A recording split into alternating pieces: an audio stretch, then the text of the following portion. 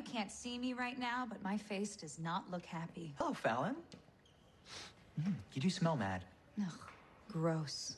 Do you really have nothing better to do than to screw with my life? At this point, not really. But since I can barely feed myself right now, how could I possibly mess with you? I don't know. You always seem to find a way, like inviting Evan to my dinner with Liam. I mean, seriously, what was that about? I don't know what you're talking about, and it's not my fault if you can't keep your men straight.